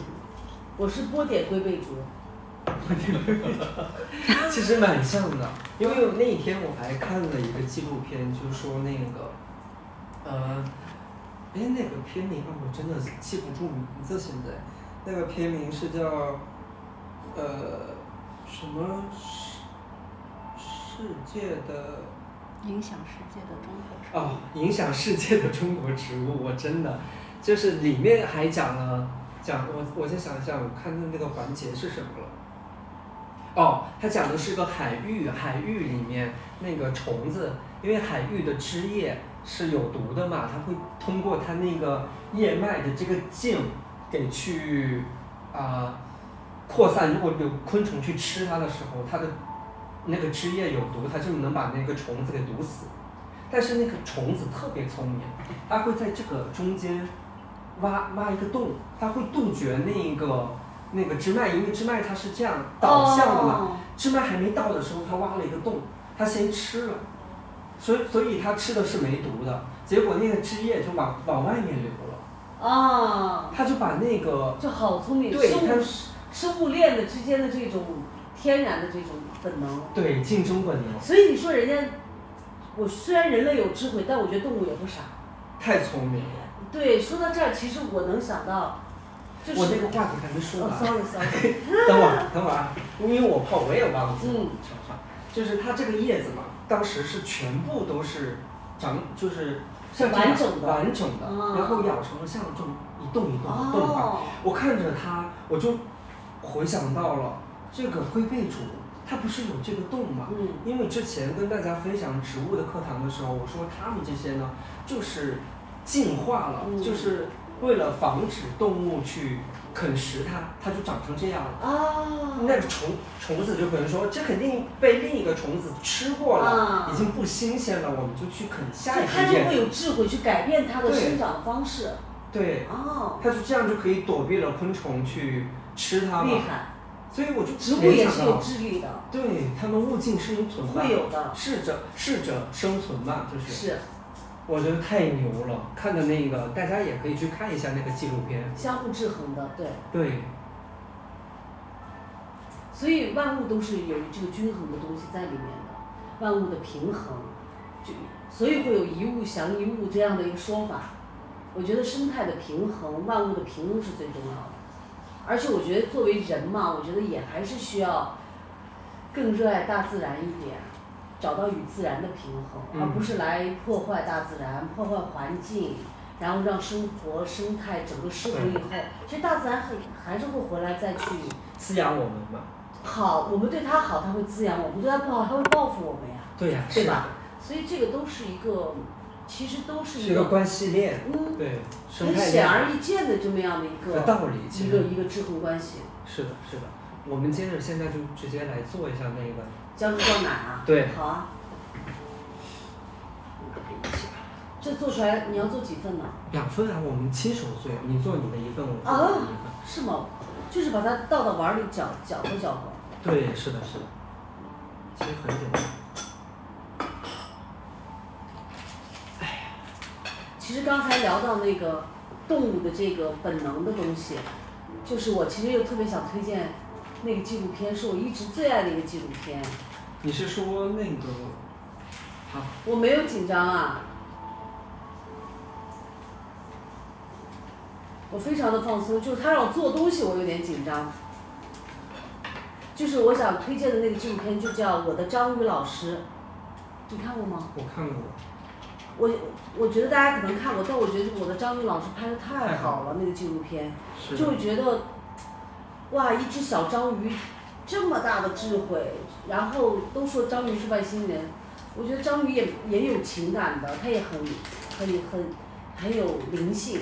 对，所以就是很多时候都会被被观众啊或者一些其他的是所就是所影响吧，就没有亲自去了解这个东西，只是道听途说。是，对这要倒倒开水吗？对，倒开水。我我来示范一下好不好？虽然我可能昨天已经失败了，但就这么点儿还能不成功啊？但我切实的昨天是没有成功。要到多少？呃，这个碗我确实也没尝试过倒多少，随便倒。我我就倒这么多。那我呢？呃我，现在也倒是吗？对，倒上是吗？倒上。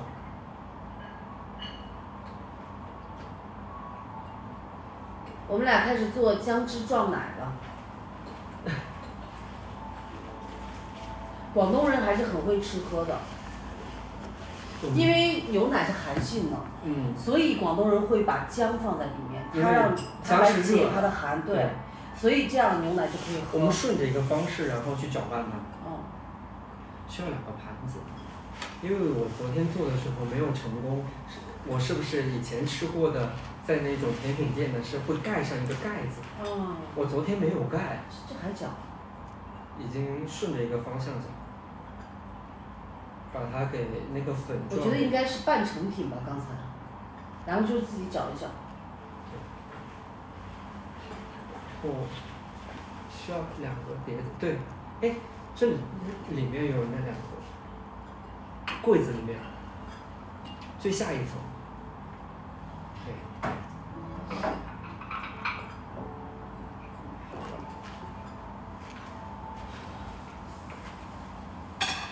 这太大了，要小的，要两个小的，这还要小多久？好，可以了，啊？可以了，哦，见证奇迹就完事儿了对，要多长时间呀？呃，是这个有点太小了，感觉盖不住。这个合适的，中间的这个就行。不，中间的上最顶上那个，那个，这个可以。这个小是吗？对，这个有点小。因为这个盘子呢也是手工的盘子，所以它每个大小不一样。就放在这儿吧。我们就放在这儿吧。好，十分钟见证奇迹的时候，我们五十分的时候可以打开看。好，对，所以他你看得到他也是需要耐心的。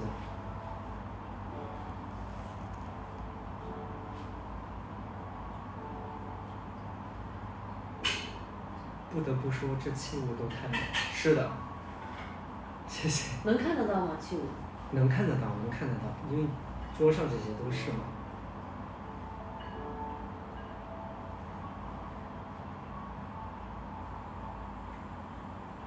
哦，他们说了，老姜淀粉多，奶要全脂的，温度要七十度。但是你这个已经是半成品。对，否则他们那个人家要自己自把那己调配个出来的。把不把那个姜汁先磨，对磨出姜汁，然后一下倒奶，然后再盖住。哦，嗯它让它在凝固住。对，在广东的时候是那样吃的。因为现在刚好也是秋天嘛，我觉得也是一个温补的一个好时间。对，大家可以在家的时候去尝试一下这种这种甜品。是。对。旁边这位漂亮的姐姐是我的恩师，嗯，是我的恩师，大学的恩师。叫姐姐我还是很爱听的。这碗是九谷烧吗？不是，是我们中国的瓷器，是我们中国呃晚清时期的一些瓷器盘子。嗯，它里面待会儿可以给大家看一下里面的花纹是那个呃灵芝的文案花文案。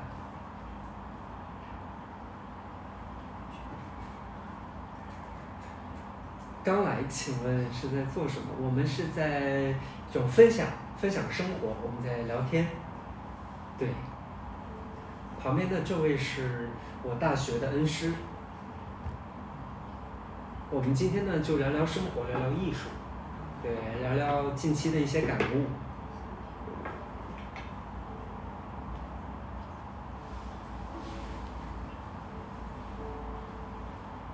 赞赞有跳舞的计划吗？呃，暂时没有，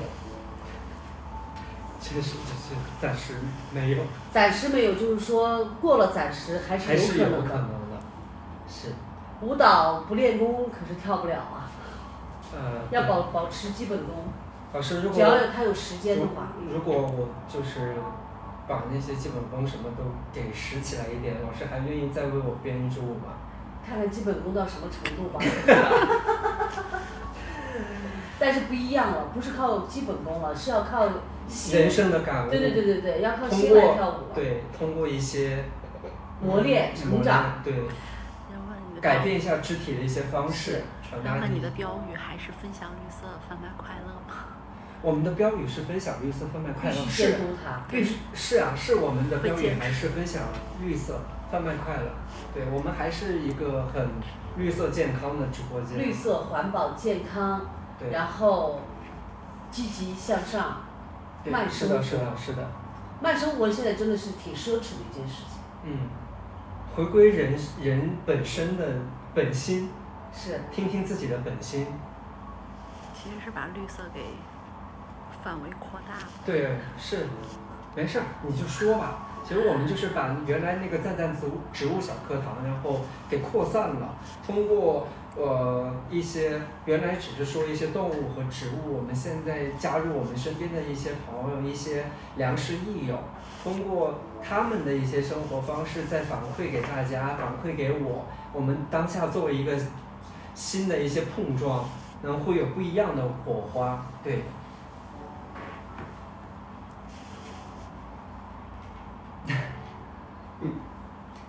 下期预告有吗？下期暂时还没有预告，但是我们还会请一个新的小伙伴会过来跟我们来探讨一下他的生活、他的感受力，好吧？当然，我们也欢迎常常再一次来到我们的那个直播间，然后一起连坐嘉宾。常驻，常常驻。哦，对，不是连坐，常驻，常常常驻。对呀。是的，是的。现在啊，还还我们还在等等。我先，因为我们今天聊的其实聊了很多，也聊得很飞。对，聊得比较，嗯，天马行空，我觉得。嗯，我觉得很好，顺应对，顺应大家的想要了解的一些节奏啊，或者我们突然得到的一些灵感，跟大家沟通，其实蛮好的。可能也是今天你第一次尝试，多了一个嘉宾，然后话题呢又不能跑得太远，还得回归到一个主题上，所以这个东西就是其实也是一个磨练的过程嘛。对你也是自己在摸索。对，对，我呢就是一个实验品，当然不是，不是我就是开场挑气氛的那个人。那那必须挑的很好，今天。反正就是我们就是聊一点生活中我们对第一期嘛，他的这个有嘉宾的这样的做法，我们还是希望能够让大家能够回归到人和人最难得的关系上。对，直接沟通的这对，就像我们的。师生感情一样，我们要去珍惜身边那个我们应该去珍惜的那个朋友、那个家人、那个爱人，就是这个我觉得很重要。嗯不要一直沉溺在网络的世界，还是能够放下手机，回到当下，然后多对身边的人多一多一点爱嘛。这是我们觉得今天想要聊的一个很真，真的是想聊的一个很真实的、嗯很诚恳的一个话题。而且其实今天吧，又又再一次的刺激到了我，因为去年和大家直播的时候是我自己，而且之前对于直播这个跟大家见面，因为我还是本身有一点社恐的人，在这么一个环境，其实我内内心做了很多的斗争，然后然后决定把我拍戏之余、专业之余的一些兴趣爱好分享给大家，让更多人能感受到绿色，感受到这种积极健康、慢生活的这种节奏，对，能让大家跟我有一点点同频的感觉吧。但去年做这个的时候，就会很紧张，然后慢慢的、慢慢的做了一年，从容了很多，但是也其实后做做到后期的时候，稍微有一点小呃疲惫平淡，对对平淡，然后也有点呃蒙蔽了，就是可能我说我每一周都要做，但是初心都是好的，但方式的时候会有一点点就内容上可能提高是有点难了。对自我打鼓嘛，那时候有点也有点小的，就是忐忑。然后我今天又有了一种重新的这种形式跟大家见面的时候，我内心又有了当时我又回想到了当时的那一种冲动。冲动、兴奋感、啊，忐忑感。所。以还是需要去改变一些方式，或者呃，在你已经到了瓶颈的一个阶段，你可能还是需要再找到一些突破点。其实我觉得人容易还勇于突破，容易就是沉迷于现现状嘛，是。就觉得呃让其实安逸其实挺好的，确实安逸也是通过我们努力打拼得来的，对但是呃希也是希望，就是也是给我自己一个鞭策吧，在我努力打拼到一个舒适的环境的时候，还有那个冲劲儿去找一下，有没有一些新的方式能让我得到一个新的领悟。对。嗯，所以我，就我因为是第一次参与这种直播间的这种交流，嗯，可能也是有点不适应，但我能明白，就直播间如果一直做，如果你自己不去不断的提升、开拓你的格局、你的知识量或者你对东西的认知，确实确实，会有贫我觉得的时候。对我现在真的还是蛮尊重每一个在直播间去做主播的人。因为很难啊，嗯真的很难。然后你要输出很多的这种信息知识量，和观点，知识，对文化的、艺术的，或者日常生活的，或者美学的，就太多了。你要自己不不断的去要充电、提高自己滋养，你才能再把更多东西给你的底下的粉丝或者你的听众们，真的不容易。因为大家在屏幕前的各位都是来自五湖四海，每个人的生活习惯或者是做事风格，包括从事的职业都不一样。是，我们可能还是，呃，只是一面，我们是，就是从事艺术，我们对艺术的领域可能比较熟悉一点，但是别的行业隔行如隔山嘛，怎么能通过我们把所有的视觉感官都打开，能去感同身受于其他的各个行业，也是我一种魔力。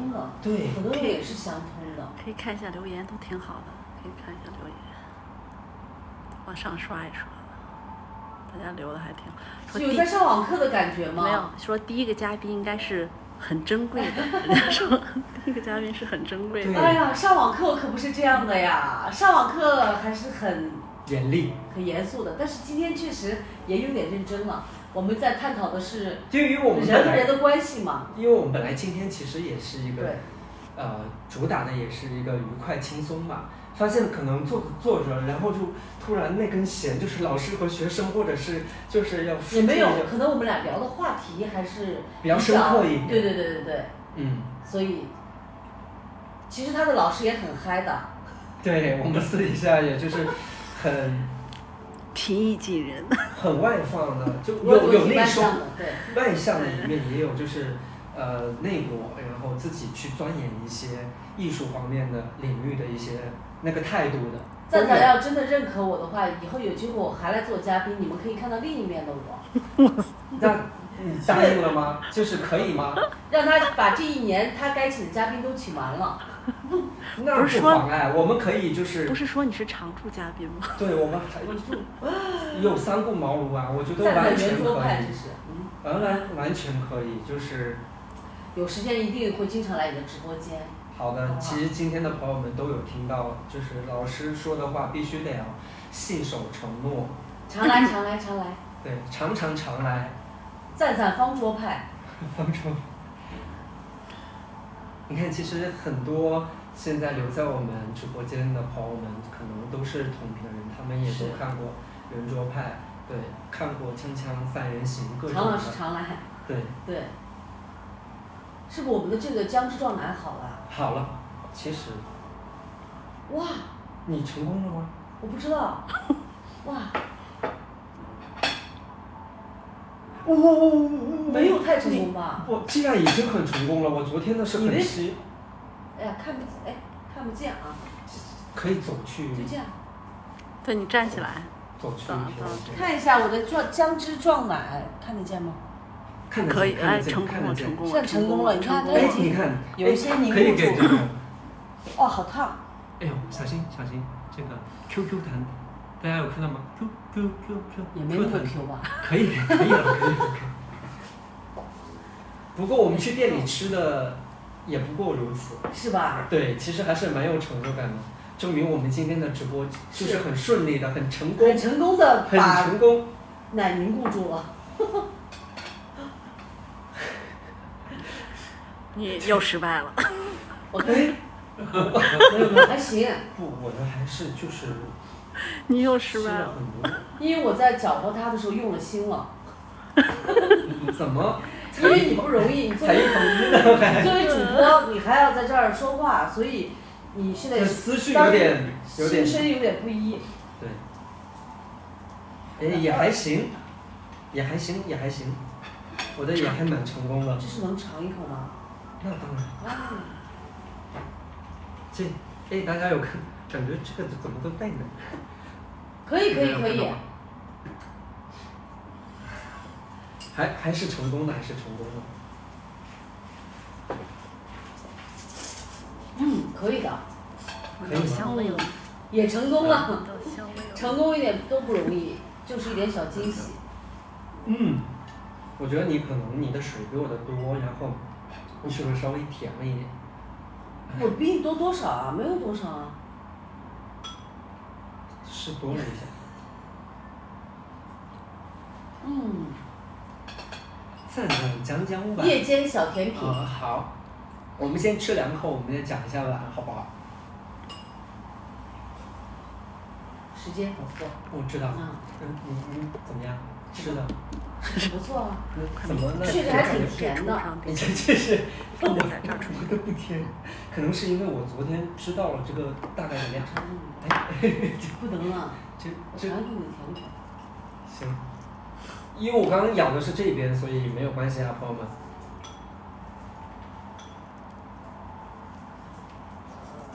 嗯，有点甜，我的还有点甜吗？差不多我觉得，我你也没比我少多到哪去。我觉得多的还挺多的，嗯一点点这个味道还是不一样。快，大家等你讲金饭碗呢。哦，金饭碗。嗯，这个这个碗质呢，它是里面是玻璃质地的，大家有听声音吗？哎呀，这样。玻璃的质地，然后它外面是裹着一层那个金箔。大家看到吗？就是这一些有些已经开始都掉了，就就是这一种，算是一种，啊、怎么说呢？斑驳了。斑驳美，就凋零的那一种感觉，就是使用感、使用感的那种不一样的手触的这种那感觉。这金箔是不是都吃到嘴里去了？这个金箔只是外面的一层，它里面还是它只是附我知道呀面。，你比如喝汤什么，啪，金箔就吃肚子里了。哦，你是说这样触碰的是吗？对，给胃包了筋了。那它不至于，因为它它应该应该是烧制完了以后，这样是肯定是蹭不你的意思是做完以后它就是这样的？对啊，这不是我后期给它给贴上的，是已经做好了这个样子，它是不会掉的。哦这些掉的可能是我们，比如说摩擦碰撞，在使用的时候、洗的时候，它会给蹭掉一些嗯，不一样的那种，呃，那个什么，就有点凋，就像鲜花凋零了，或者是一种使用过的那种使用感，你知道吗？日常的那种 知道？知道知道，对，全都知道了。反正还是吃到胃里了。哎，不会啊，怎么还是会会在胃里呢？就是你不，它不会，你不会用牙齿这样我知道了，常年累月的不小心掉下来一块儿。没事儿，不重要，不重要，反正是没有毒的。没没毒没毒没毒。丽姐姐送出粉丝灯牌，丽姐来了，谁？丽姐，我亲爱的母亲，真的？对，那我作为老师，蛋蛋的蛋蛋的妈妈出现了。作为老师还要为人师表，哎呀，好笑。严肃点，严肃点。这么严肃不用严肃，其实很开心很开心。就是我们就是像现在，真的变成了亦师亦友的关系。我们现在就是，呃，艺术方面我肯定还是要向常老师去学习。生活中我们都是一个相相互帮助的一个好伙伴，别找吧了。别找吧，确实是这样的，确实是这样的。突然拒绝了起来。妈咪出现了，妈咪出现了，我是那个那那那个啥，那个都不知道怎么说话了，话都不知道怎么说。确实是，确实是，就是，其实今天新的尝试还蛮感触的。嗯，嗯，你你刚刚也表还还还行吗？不，当然必须可以做的特别的好满意啊。对，我只是觉得，呃，就像常老师，你刚刚已经表述了自己今天就是首一首次嘛，然后面对屏幕前你的那种直播，对那种感就感悟，或者但是你觉得我们这个直播间有没有给你就是有什么新的建议，或者你觉得哪些地方有不一样的小小小小小触点吗？就是那种不一样的思考。就对你的直播间有什么我的感受吗？